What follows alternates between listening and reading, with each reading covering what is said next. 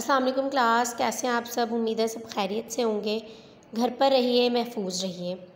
जी class, हमारा Urdu B का lecture है तो जल्दी से अपनी वर्कबुक्स निकालिए, पेज नंबर थर्टी सेवन सबसे पहले दिन और तारीख़ लिखिए। क्लास, आज हम करेंगे अल्फाज मुतरदफ़।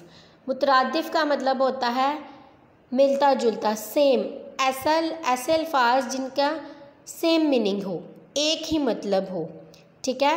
मुतरदफ़ का मतलब होता है मिलते जुलते।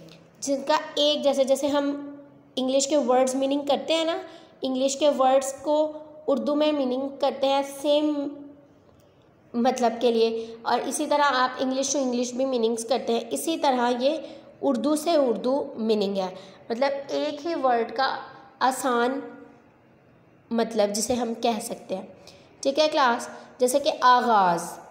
आगाज़ का क्या मतलब होता है? आगाज़ का मतलब होता है शुरू, इब्तदा, किसी काम को स्टार्ट करना, ठीक है? तो आगाज़ का इब्तदा भी होता है, शुरू भी होता है।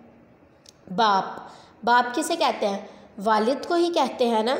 वालिद, बाप, जैसे कि, जैसे हमें पता है कि पापा, अब्बू, वालिद, बाप, ये सब एक ही हैं।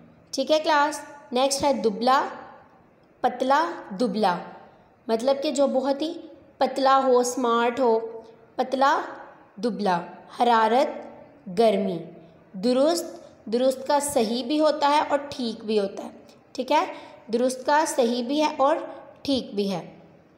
शाख, टहनी, कमज़ोर, लागिर। लागिर भी कमज़ोर को ही कहते हैं, जो बहुत ही ज़्यादा कमज़ोर हो वीक हो, ठीक है? बीमार हो। माल, दौलत। माल, दौलत, उजाला, रोशनी, सब्ज़, हरा। सब्ज़ हम हरे रंग को कहते हैं ना? सरसब्ज़ खेत, हरे खेत, ठीक है? समर, फल, गम, दुख, ठीक है क्लास? आई होप आप लोगों को समझ आ गई होगी। आप लोगों ने इसी तरह नीट एंड क्लीन राइटिंग में लिखना है क्लास। सही को आप लोगों ने गलत नहीं लिखना। सही बिल्कुल ठीक तरीके से लिखना है। पहले स्वाद की छोटी शक्ल बनाकर फिर एक है। की छोटी शक्ल और फिर दूसरा है। ठीक है, क्लास, अपना ख्याल रखिएगा। अल्लाह हाफिज़।